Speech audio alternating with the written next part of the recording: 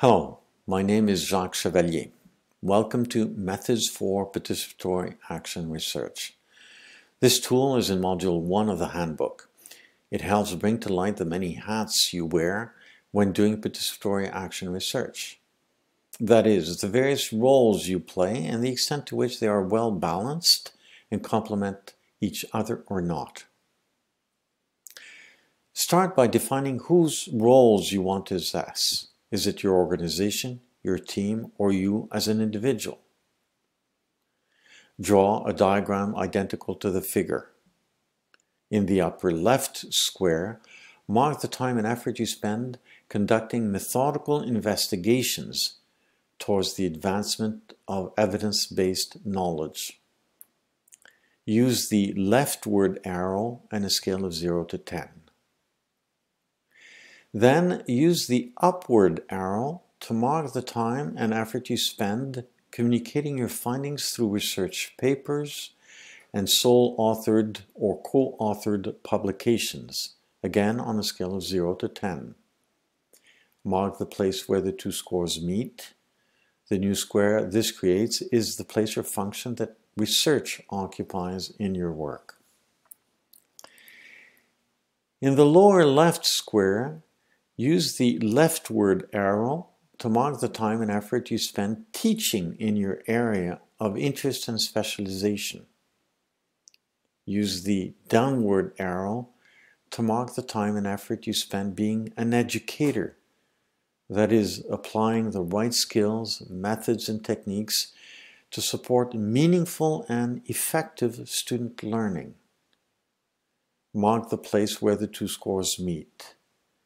The new square this creates is the place or function that teaching occupies in your work. In the lower right square, use the rightward arrow to mark the time and effort you spend intervening as a content expert that gives professional advice. And then the downward arrow to mark the time and effort dedicated to intervening as a neutral process facilitator. This is someone who knows how to help people work together effectively on things important to them. Mark the place where the two scores meet. The new square this creates is the place consulting occupies in your work. In the upper right square, use the upward arrow to mark the time and effort you spend intervening directly as an actor taking on a leading role. Use the rightward arrow to mark, mark the time and effort you spend intervening as a practitioner, someone who carries out the work and puts plans into action. Mark the place where the two scores meet. The new squares this creates is the place that action occupies in your work. You can use the diagram to reflect on the extent to which each role you play contributes to or conflicts with other roles, your own or those of others. Use a scale of minus 3 to minus 1 for conflicts and plus 1 to plus 3 for positive contributions. Insert each positive or negative score using an arrow that points in the direction of the role it contributes to or conflicts with. Leave scores of zero out of the diagram. Finally, using a scale of 1 to 7, assess the extent to which your overall profile fits with your organizational mandate and related obligations your own value system, your personal skill set, and also your lifestyle preferences and the choices you'd like to make in that regard. Reflect on the reasons that you have for giving scores that fall below 5 and write them down. Discuss the result and identify areas where you'd like to make changes, whether they be the roles you take on, the way they complement each other, or the extent to which they fit with your mandate, your values, your skill set, and your lifestyle preferences. Identify specific objectives and first steps to meet your goals.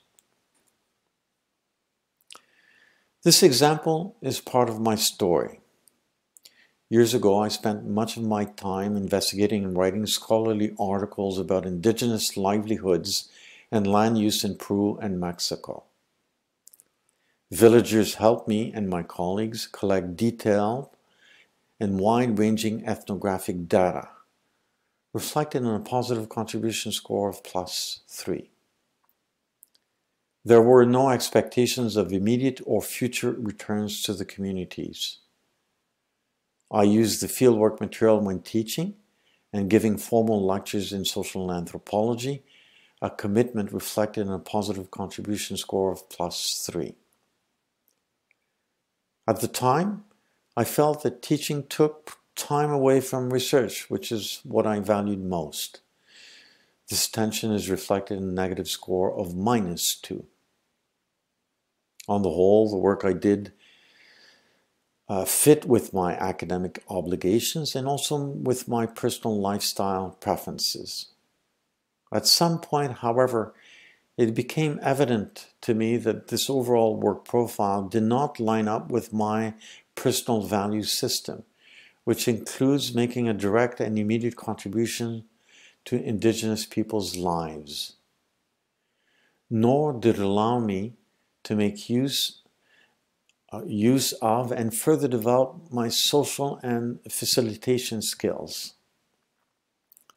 To address these gaps, I plan to better tailor my research and teaching activities to village needs and facilitate participatory action inquiry learning that promotes the development of sustainable livelihoods at the local level.